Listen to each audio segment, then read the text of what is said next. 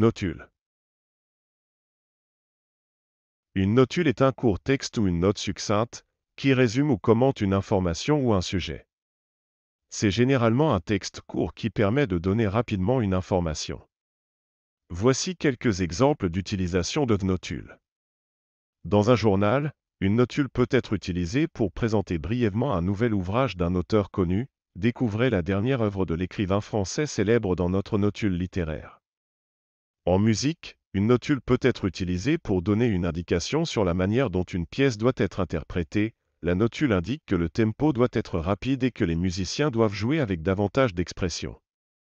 Dans le monde universitaire, une notule peut être utilisée pour donner une information brève sur un concept ou une théorie. La notule sur la cognition est très instructive pour ceux qui veulent comprendre comment fonctionne notre cerveau. En somme, les notules sont très utiles pour fournir rapidement des informations nécessaires en peu de mots.